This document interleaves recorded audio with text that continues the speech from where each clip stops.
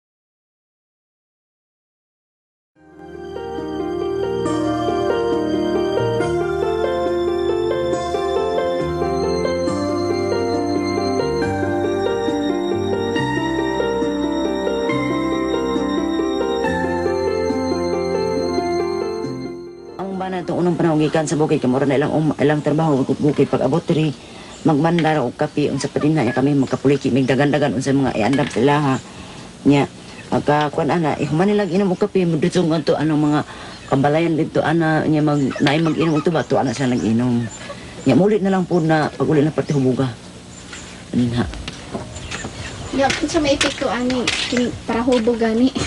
Away. Imong kasi nagtanay. Kay mo istorya ka mo pasabot ka sa ginagmay mo mo singkam gani lain siya. Mauna yung panghitam hitabo gani sa mga mo sukol pud ko. Niya og di man ko kasukol ka ng sumbag-sumbag. Ako hindi ang mga balay akong pumuon ko. Murag gula dyan magpudi dyan makita ah, ang anak nang murag gula kay higala gani anang hitabo ah. Kaya wag man kay istorya istorya ng mga lain-laing tao, eh, imo haraman yung pamilya. Niya murag gulay mga problema, wala yung mga sa mga paglunod wala kay kasumbungan sa problema kay dala sa imong bana nya imong bana ug maila imong bana ug sabot. Nya dili mo sabot di away man pudto talagang ipinaglaban namin kasi talagang nakikita mo na kayo nila ng development ng women no? Pero sabi ko no that is not correct. We should develop these women. Why? In the first place it is it is our social obligation. Do you know that we are committing injustice to these women because 65, 65%, anong ginagawa mong proyekto para sa kanila?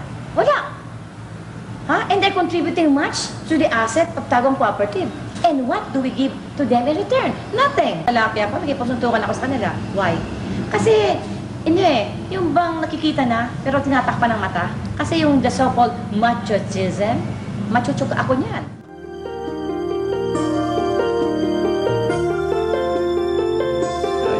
Issues, especially also that we have attended at gender issues uh, as gender sen- sensitivity seminar in Cebu. There was a uh, there was a change in the atmosphere in the cooperative.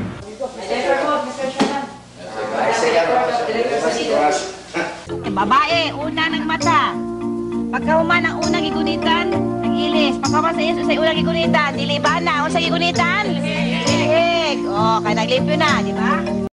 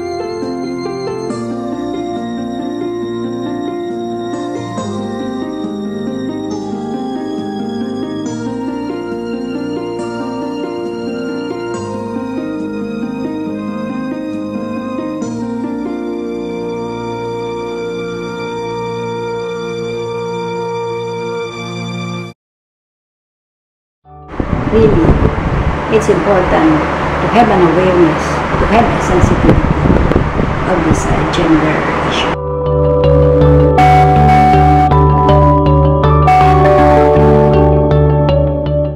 If you will prevent me from doing these things, you are violating human rights. Why don't you want me to improve the conditions and empower the women?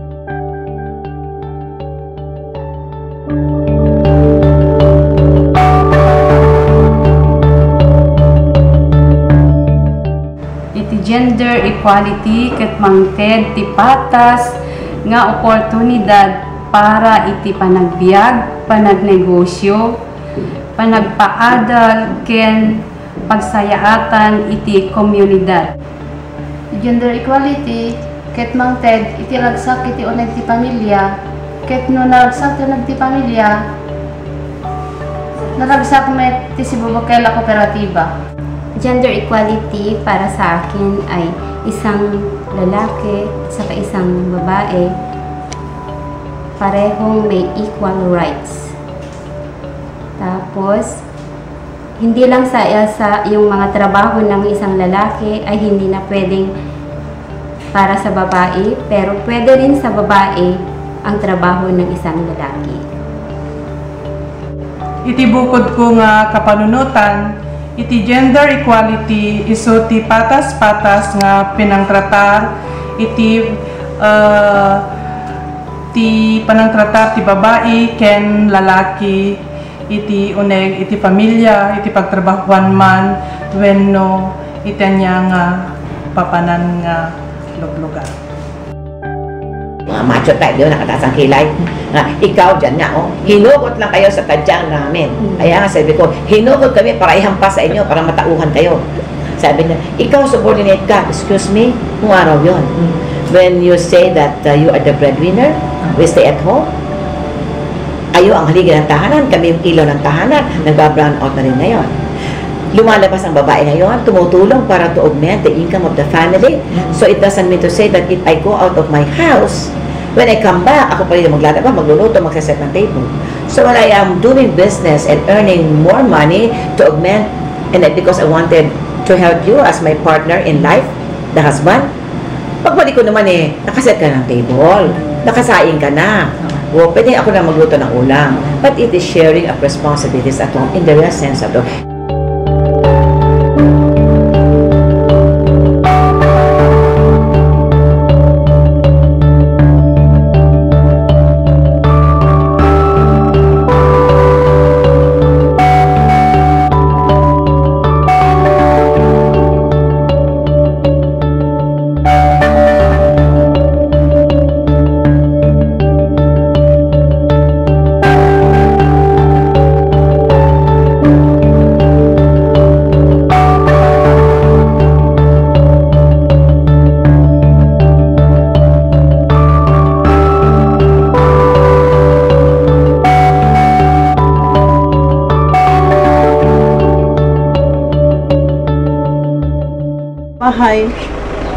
pinabayaan lahat sa asawa, sa babae. Siya hindi, mm, ma'am. Pag siya nagmamaniho doon sa labas, pag uwi niya, gaya ngayon, ako nagagawa ng tusino sa kasuriso, pag pagdating niya, wala pa kaming ulam. Siya nagluto ng ulam.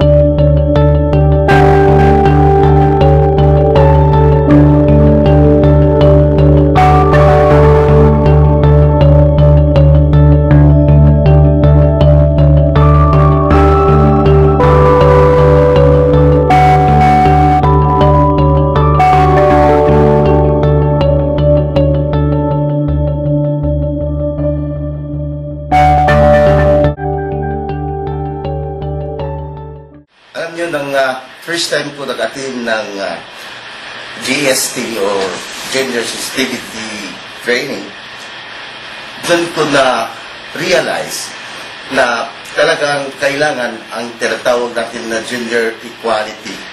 Tungkol po sa sarili ko, so sa aking pamilya, din na I, I realized na kailangan pala, kailangan talagang buha, ah, gawin sa, sa isa't isa, lalo na sa pamilya, asawa, asawang babae, asawang ah, lalaki, sa kailangan na partnership ito eh. Tungkol ito sa partnership. Na kung sino ang nagtatrabaho o earner, breadwinner sa pamilya, kailangan din na yung, sa, yung ka, kabiyak mo o yung asawa mo, kasama mo rin sa lahat. Plano, kung ano ang gagawin sa buhay, kung sa trabaho sa bahay naman, kung ako, ngayon ako ang ano, nagtatrabaho, pag uwi ko sa bahay, din doon din na, na nagiging marunong na ako maglaba sa damit, magluto, o maglinis sa bahay.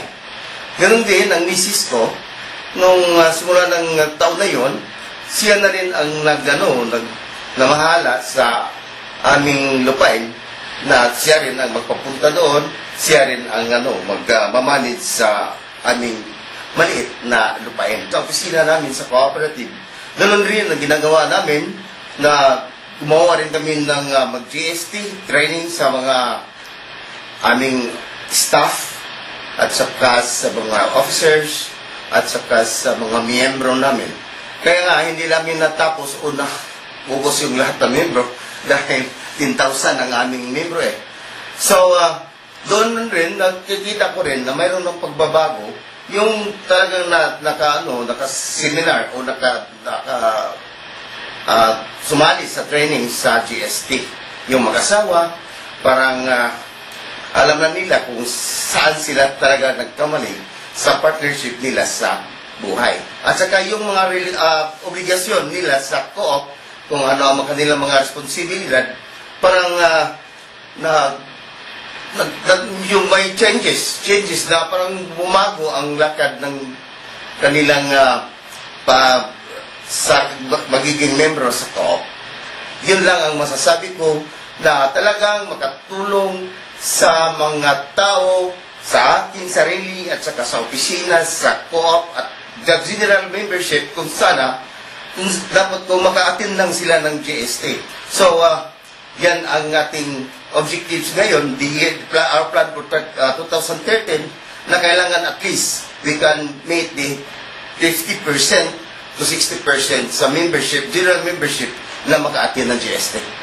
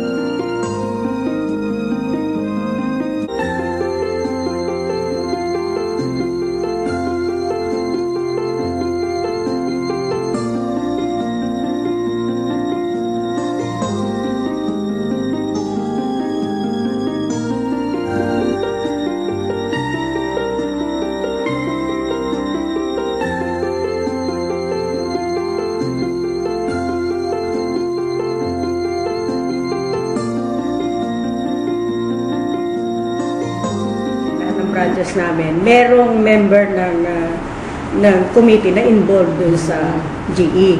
So, sa quality of life ng tao, mahalaga ang GE. Sa totoo lang.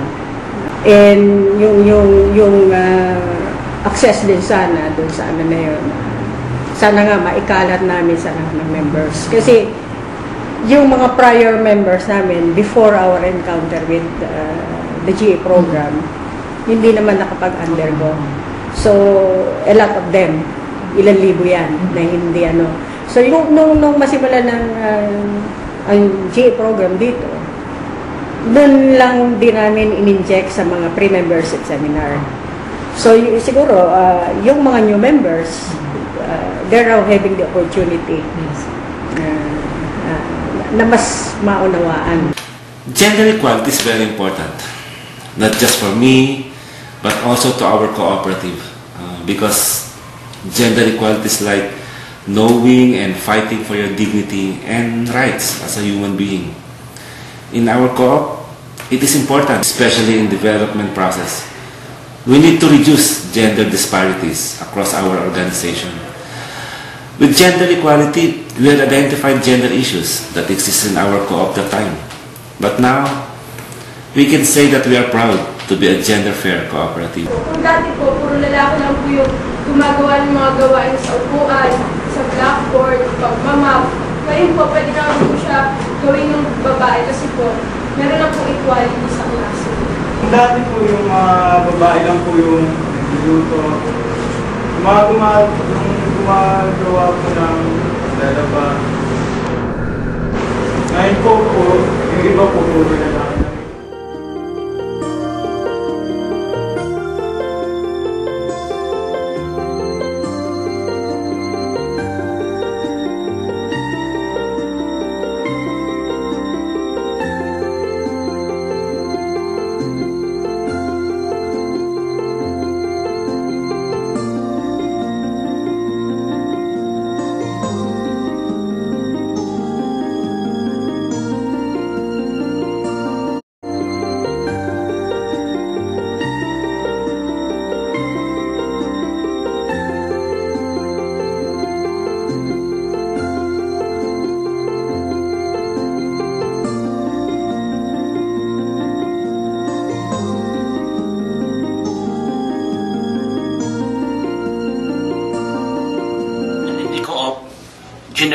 is everything that also happens to us. Because uh, we were able to expand more, we were able to serve more our members in such a way that uh, the male members and the female members are treated equally. In board of directors, we have equal numbers of the male and the female directors. And that goes the same with the management and staff. The Lamak Multipurpose Cooperative management officers are doing our best to cascade the, this gender equality to our members such that we will have the equal representation of the members in both sexes. Malaki ang naitulong sa gender equality considering that there are uh, projects, products of the co-op which dati are supposed to be for the, only for the female members. Sa ngayon, this is for all our members regardless whether, are, whether they are male or female. Pasalamat mi sa mga member mi. So, nagkapa-aral kami sa aming anak.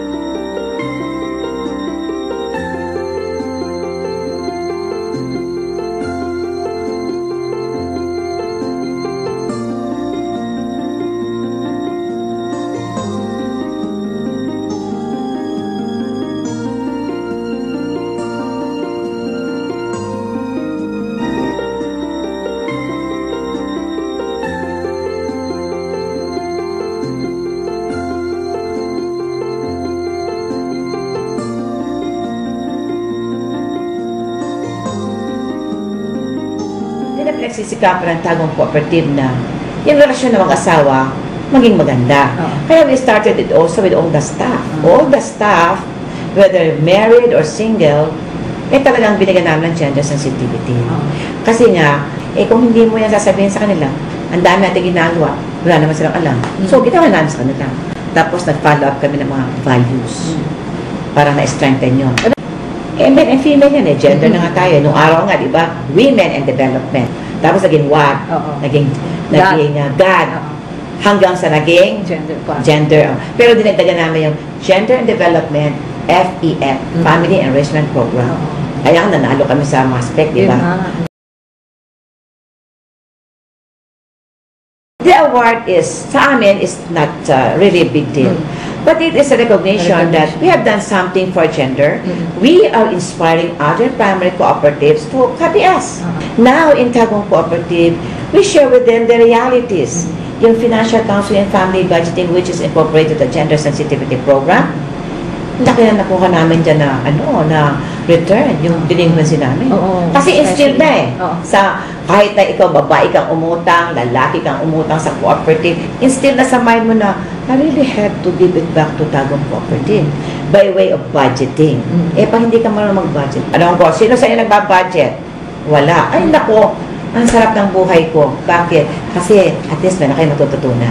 Then we gave them the formula. Yung uh, income minus savings equals expenses. Kasi nung araw eh, nung araw eh, income minus expenses equals savings. Wala na maiwan sa inyo. The ball starts rolling in the boardroom. And if you present a program for gender, it has got to be approved by the board of directors with matching budget. So if you make a very good representation of what can gender do with our operations, eh makukumbisi sila. There is always this uh, subject about family enrichment that is being integrated into the mainstream of the educational programs of Tabon Cooperative. So I think that's very, that's very important to us and uh, which highlighted our growth. I could really say that uh, especially to male or men uh, officers of the cooperative sector, we should we should always be we should always have an open mind because frankly before this uh, gender development was introduced uh, I was skeptical about it no? and uh, there was even this uh, feeling of indifference later on I realized that uh, women women issues should really be discussed and uh, accepted or adopted by the cooperative sector because there, there were many issues about women that some men uh, did not uh, give importance. To the board of directors of some cooperatives who are still reluctant towards uh, the gender issues is that we should accept the fact that whether we like it or not, women